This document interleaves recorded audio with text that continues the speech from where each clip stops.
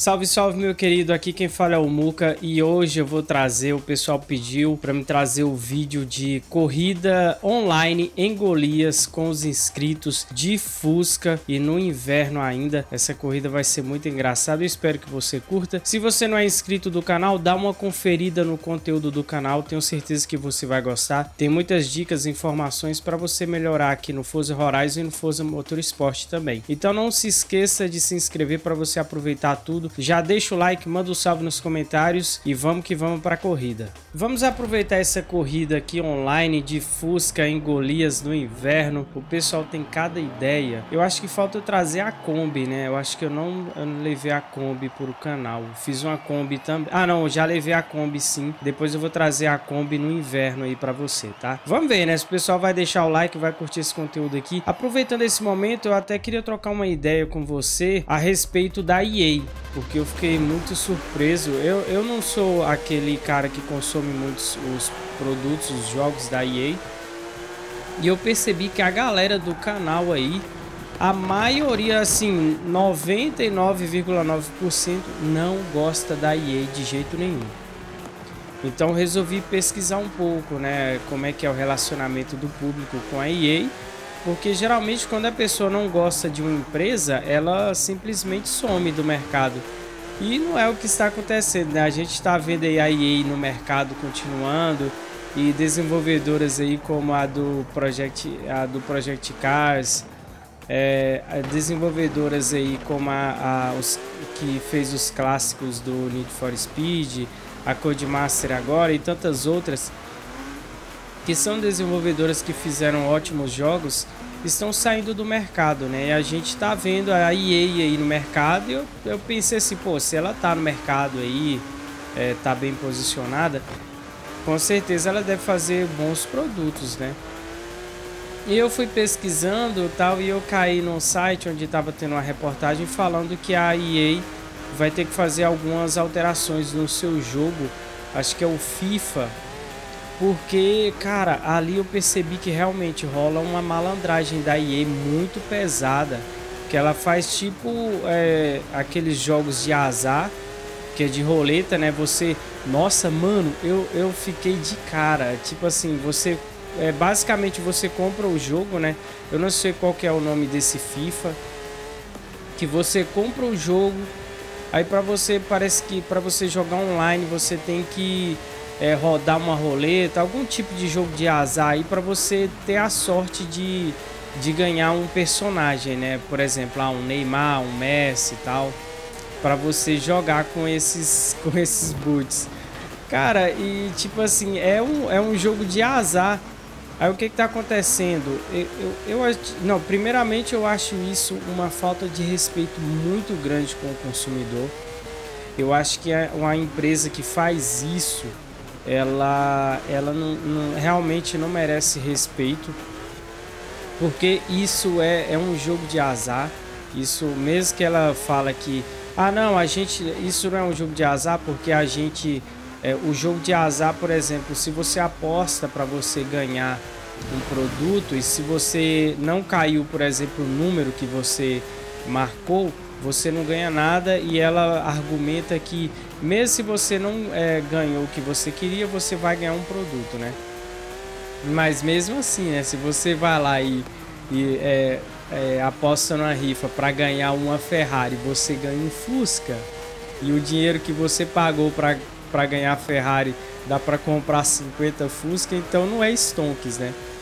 Cara, eu achei muita sacanagem. Agora sim eu, eu tô vendo por que, que o pessoal é, é chateado com a EA e com razão, porque eu, eu sinceramente eu tava vendo até o pessoal da Central falando que tem algumas, com certeza, é, eu já fiz algumas economias quando eu jogava o Need for Speed é, World. Eu já fiz algumas economias, tal, deixei de fazer algumas coisinhas para comprar alguns carros que eu gostava. E era um jogo muito legal.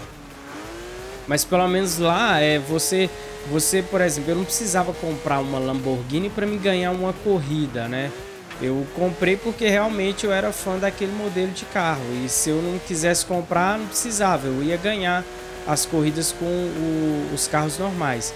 Agora, pelo que eu tô vendo o, o, o jogo de futebol da EA, se você não comprar determinado jogador, você não vai ser competitivo. E isso eu acho muita palhaçada, pô. Você compra o jogo, ainda você tem que comprar itens lá dentro para você ter vantagens. Isso aí eu acho super errado.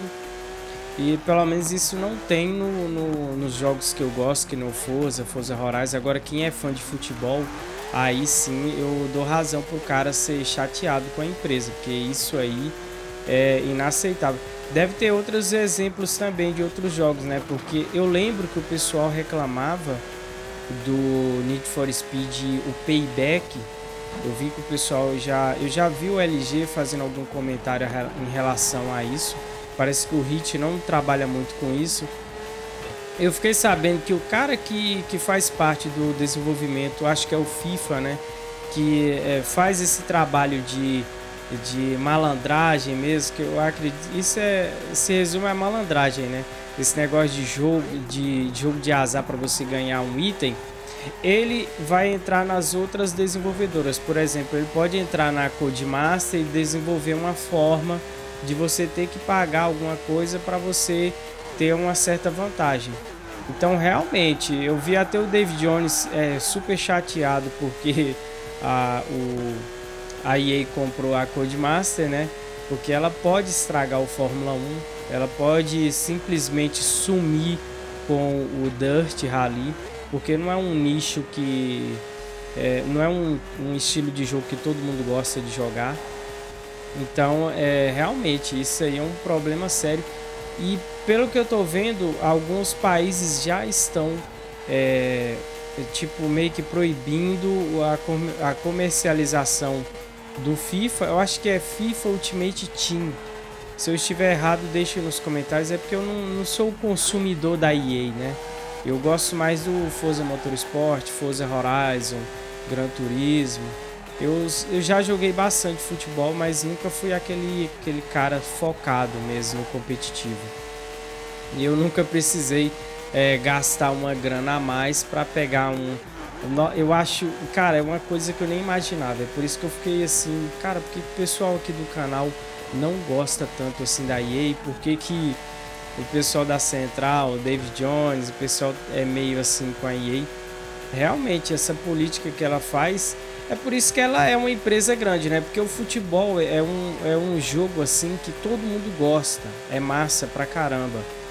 Aí o que que acontece? A molecada aí que sonha em ser um jogador de futebol, que nem eu, por exemplo, quem é, quem é jogador assim que gosta do Fórmula 1 é aquele cara que é fã mesmo da, da categoria. E eu tenho certeza que se. Nossa, vai ser muita sacanagem se a EA ela desenvolver algum método que para mim entrar no modo online com um certo tipo de carro, eu vou ter que rodar uma roleta para mim ver se eu vou ganhar algum item que vai me dar vantagem no modo online. Isso vai ser simplesmente ridículo. Tira a competitividade. Eu acho que isso é um jogo de corrida. É, é, é, talvez, eu não sei, mas pode ser até pior do que um jogo de futebol, porque, cara, você depender de um item que você vai ter que rolar, rodar uma roleta. E pelo que eu vi, você tem 1% de chance de ganhar um, um, um jogador é, para você ter uma certa vantagem no jogo. Nossa, 1% de chance, rodando uma roleta, meu irmão, o cara deve gastar muita grana. É por isso que essa empresa é, ela é tão grande assim, porque, mano, futebol engloba o mundo inteiro, né? Todo mundo tem, todo mundo quer jogar, todo mundo quer ter um jogador. Se eu gastei um dinheirinho ali no Need for Speed World, que nem precisava para mim ter aquele, aquele item. Imagina um cara que joga o FIFA. E se esse jogo atualiza todo ano, todo ano você tem que fazer isso? Porque eu não conheço, né? Não sei como é que funciona. Imagina aí.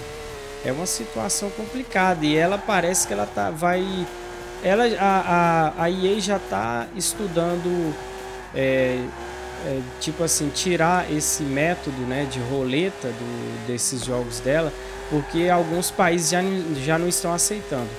Porque, tipo assim, criança tá jogando o jogo do bicho. É, isso não, não pode. Ela tinha aquele argumento de não, de qualquer forma ela jogando ela vai ganhar alguma coisa. Mas o pessoal está percebendo que isso não, tá, não é legal.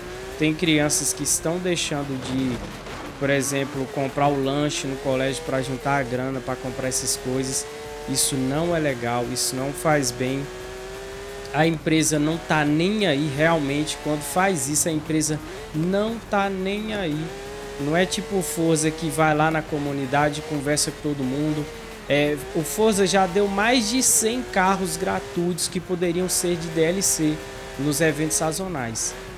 Ela pode ter alguns probleminhas aí, mas tipo assim, cara, é, é, é já deu mais de 100 carros aí de evento sazonal mesmo a gente reclamando, né? Vem os carros que, pelo amor de Deus. Mas isso aí a gente tem que reconhecer. Agora, isso aí que a EA faz, eu dou razão. E ela vai, ela vai tomar um prejuízo de bilhões, porque ela vai ter que parar com isso. E provavelmente, talvez essa empresa ela vai sumir do mapa, porque é isso que dá muito dinheiro para ela. Então é isso, espero que tenham gostado do vídeo. Deixa o like, manda um salve nos comentários. Se você não é inscrito, se inscreva para você aproveitar tudo aqui do canal para você.